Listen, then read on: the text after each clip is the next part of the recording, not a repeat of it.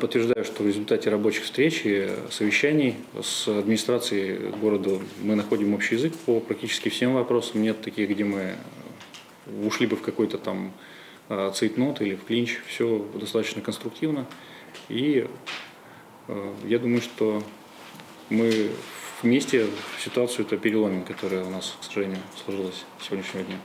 по той, которая последние годы была, или все-таки большими участками отключать будете? Нет, ни в коем случае.